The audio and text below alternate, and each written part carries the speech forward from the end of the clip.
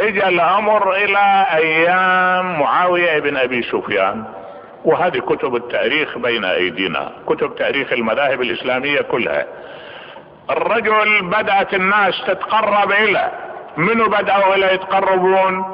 بدأوا يتقربون ضعاف النفوس.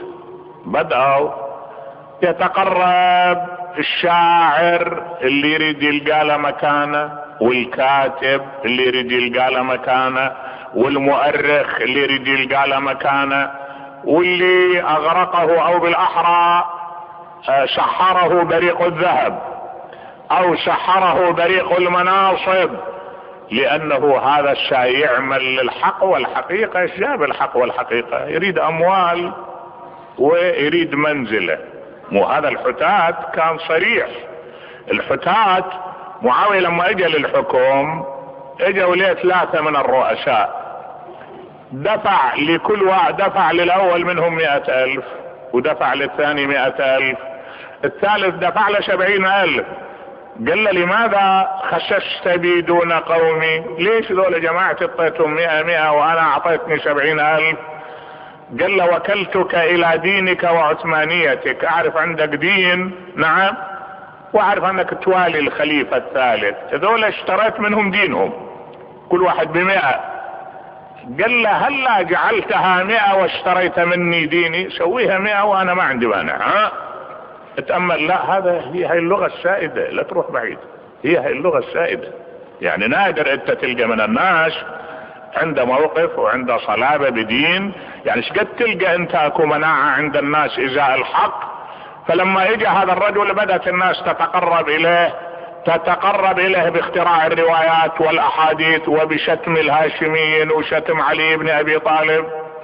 يعني انت قد تستغرب تلقى رواية مثلا فلان عن فلان يقول مر علي والعباس والنبي جالس في المسجد لما رآهما قال إن هذين يموتان على غير ديني. ها؟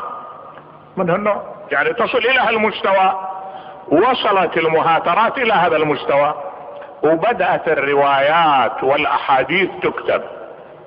الروايات والأحاديث كلها تكتبها الأقلام الرخيصة الأقلام المجورة التي لا يخلو منها عصر من العصور وهي أقلام كثيرة. وأتخطر الشيخ أبو زهرة في كتاب المذاهب الإسلامية.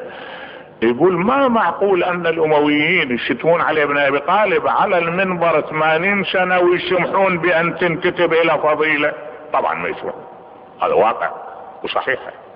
صحيح هذا. يعني اللي قاعد يتقرب إلى الله بشتمه على المنبر 80 عام هذا يسمح بأن تكتب إلى فضيلة؟ قطعا لا. ما يسمح أن تكتب إلى فضيلة. ولذلك كان حتى الراوي حتى الراوي من الرواة. إذا أراد يروي رواية بها اسم علي بن أبي طالب ما يقدر يجيب اسمه. ما يقدر يجيب اسمه. يكتب عنه؟ حدثني فلان عن فلان عن رجل من صحابة رسول الله. لأن إذا جاب اسمه يعني معناه يعرض نفسه إلى الإبادة. نبه. يعني بلا مبالغة ها؟ إذا جاب اسمه يعني يعرض نفسه إلى أنواع العقوبة إلى صنوف العقوبات. بطبيعة الحال الناس معظمها انزوت. اللي عنده حديث ضمه واللي عنده رواية ضمها وبدأت شنو؟ طلعت مقابلها روايات للثالب وللشاتم وللاعتداء على تأريخ الهاشميين وبالذات تاريخ علي بن أبي طالب. في تفصيل طويل هذا مفروض عند المعنى معروف